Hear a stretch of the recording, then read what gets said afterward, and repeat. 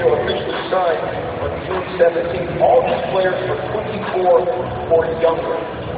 Minnesota lost 65 games this past season. Uh, interested, there are a couple different ways they can go. What do you think they should be thinking right now?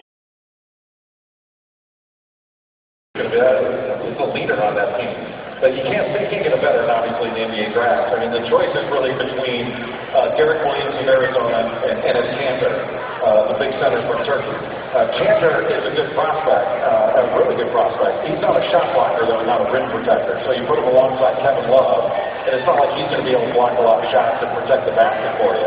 I tend to think that the best player available is the way you go, and that's Derrick Williams in my book. Yeah, they were thinking about trading and They, they put out a lot of feelers about what value, experience-wise, veteran-wise, players that they could get for that number two pick. It'll be interesting if they make this pick for themselves or if they have worked out a trade into the future to try to get a veteran. Doug, I think Derrick Williams has the most star power of any player in this draft. But yes, if they do pick Derrick Williams now, that doesn't mean he's going to be in Minnesota Timberwolves. Might have something done, might look down the road to get themselves some veteran presence. Timberwolves have lost at least 65 games the last two years. The pick is in. The Minnesota Timberwolves. Pick of the draft here's your commissioner, With the second pick in the 2011 NBA draft, the Minnesota Timberwolves select Derrick Williams.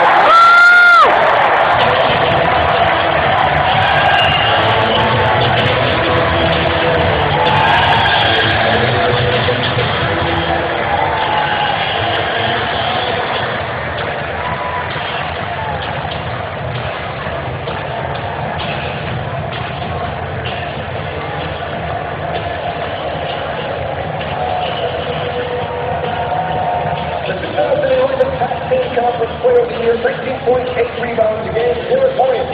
Born of the Timberwolves. Jake Phillips,